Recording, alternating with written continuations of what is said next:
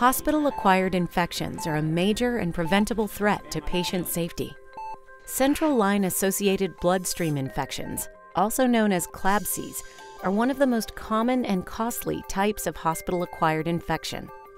A single CLABSI may result in direct cost of up to $70,000 and can double the patient's risk of death. One under-recognized avenue of catheter infection is the repeated use of a disposable syringe for fluid delivery. In pediatric emergency care, a method known as the push-pull technique is used to rapidly deliver fluids using a syringe and a three-way stopcock. Disposable syringes are intended for single use only, and once the sterile portion of the plunger is touched, bacteria may easily be transferred from the user's hand into the syringe. With additional strokes of the syringe, bacteria can contaminate the patient's IV tubing. Once a gloved hand becomes contaminated, any inadvertent contact with the exposed plunger may introduce bacteria into the syringe.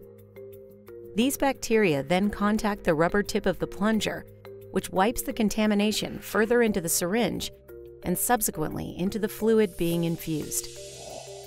Several studies have shown that the rate of contamination increases directly with the number of strokes of the syringe, creating a significantly higher risk of infection when using the push pull technique for fluid infusion. LifeFlow is a handheld rapid infuser for critically ill patients who require urgent fluid delivery. LifeFlow protects the syringe from inadvertent contact, which minimizes the risk of bacterial contamination of the syringe. In addition to improving aseptic technique, LifeFlow is faster and easier than push-pull.